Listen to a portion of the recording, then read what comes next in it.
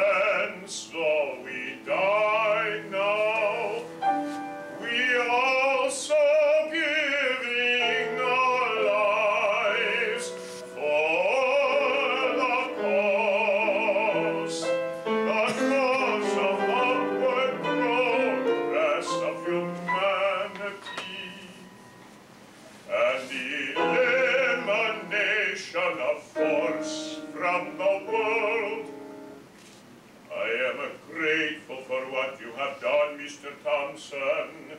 Please remember me to your wife and son.